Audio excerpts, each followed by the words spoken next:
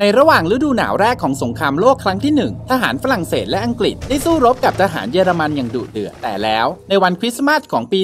1914 พวกเขาก็ได้วางอาวุธ และได้รวมตัวกันเพื่อที่จะเฉลิมฉลอง สิ่งที่เกิดขึ้นคือ พวกเขาได้กลายเป็นเพื่อนกันจริง ๆ อยู่ 2-3 วันเลยล่ะคำถามคือมันเกิดอะไรขึ้นกันนะ และความรุนแรงล่ะ มันหายไปไหนกัน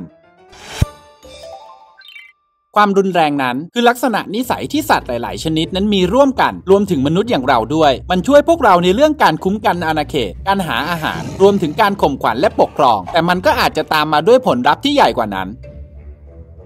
ความขัดแย้งนั้น บ่อยๆ จะทิ้งบาดแผลทั้งทางกายและทางจิตใจ ผู้คนที่ฝักใฝ่ความรุนแรงนั้น จะมีชีวิตบนความเสี่ยงที่มากกว่า มีแนวโน้มที่จะเชื่อมโยงกับสังคมได้น้อยกว่า และเผชิญกับความเครียดในชีวิตที่มากกว่าคนอื่นๆ ทั้งหมดนี้นั้น ส่งผลต่อคุณภาพชีวิตของพวกเขาอย่างหลีกเลี่ยงไม่ได้ ในโลกสมัยใหม่นั้น ความรุนแรงมีให้เห็นน้อยลงในหลาย ๆ สังคม พวกเรานั้นเริ่มสร้างสรรค์สิ่งใหม่ ๆ ร่วมแรงร่วมใจ ส่งเสริมสังคมที่เราอยู่ และทำให้รู้สึกว่าเรานั้นเป็นส่วนหนึ่งของมัน แล้วอะไรกันละ่ะ เป็นสิ่งที่ทำให้ความรุนแรงนั้นยังคงไม่หายไปไหน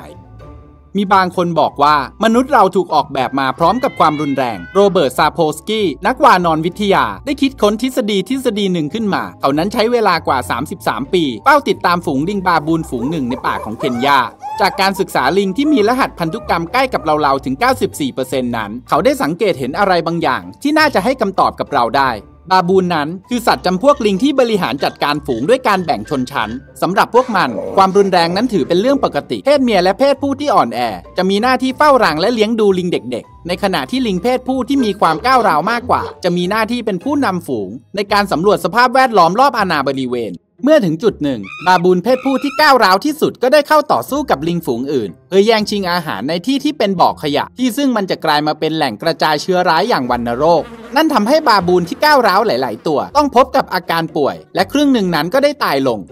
ลิงรุ่นใหม่ที่เพิ่งเกิดขึ้นมาก็เลยถูกเลี้ยงโดยลิงเพศเมียและลิงเพศผู้ที่อ่อนโยนกว่า และเมื่อลิงน้อยๆได้เติบโตขึ้น พวกมันก็กลายมาเป็นบาบูนที่ friendly กว่า และบ้าเลือดน้อยลง เวลาผ่านไปเพียง 6 ปี หลังจากเหตุการณ์ครั้งนั้น ฝูงลิงที่ครั้งหนึ่งถูกปกครองด้วยความรุนแรง ก็กลายมาเป็นฝูงที่อยู่กันอย่างสันติสุข ในปีต่อๆมา ฝูงของพวกมันก็ใช้ชีวิตอย่างดีจากการร่วมแรงร่วมใจ แม้แต่ลิงตัวผู้ที่ย้ายมาจากฝูงอื่นๆ ก็ยังละทิ้งความก้าวร้าวรุนแรง และปรับเปลี่ยนตัวเองให้เข้ากับชีวิตความเป็นอยู่แบบใหม่ ผลของมันก็คือ ลิงทั้งฝูงได้แสดงให้เห็นถึงความเครียดที่น้อยลง มีสุขภาพกายที่ดีขึ้น และมีโอกาสมีชีวิตรอดในธรรมชาติได้ดีกว่าซาโพสกี้ได้ให้ข้อสรุปว่าในลิงบาบูน ความรุนแรงนั้นไม่ใช่สภาวะที่มีมาโดยธรรมชาติ แต่ส่วนใหญ่นั้นมาจากการเรียนรู้ และการตอบสนองต่อสภาพแวดล้อมที่มันเติบโตขึ้นมา และดูเหมือนว่าไอเดียนี้จะสามารถเอาไปเทียบกับพฤติกรรมส่วนใหญ่ของเราเราได้ด้วย เด็กๆ จะสังเกตพฤติกรรมพ่อแม่ และลอกเลียนแบบสิ่งที่พวกเขาได้เห็น เวลาที่ความรุนแรงนั้นเป็นส่วนหนึ่งของชีวิตประจำวัน พวกเขาก็มีแนวโน้มว่าจะทำแบบเดียวกันเมื่อเขาโตขึ้น และจะส่งต่อมันไปยัง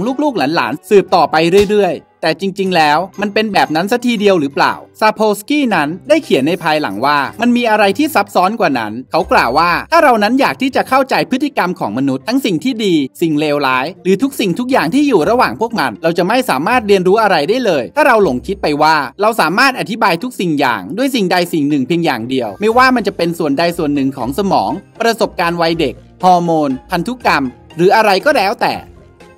แล้วคุณล่ะครับคิดยังไง พวกเราถูกออกแบบมาพร้อมกับความรุนแรง หรือมันคือพฤติกรรมที่มาจากการเรียนรู้ภายหลัง หรืออาจจะเป็นส่วนผสมของทั้งสองอย่าง และถ้ามันมาจากการเรียนรู้ซะเป็นส่วนใหญ่ มันพอจะมีวิธีที่จะหยุดไอวงจรอุบาทนี่หรือเปล่า หรือว่ามันแค่ต้องรอจนกว่าจะเกิดหายนะขึ้นเสียก่อน มาแสดงความคิดเห็นกันได้ ในช่องคอมเมนต์ด้านล่างกันนะครับ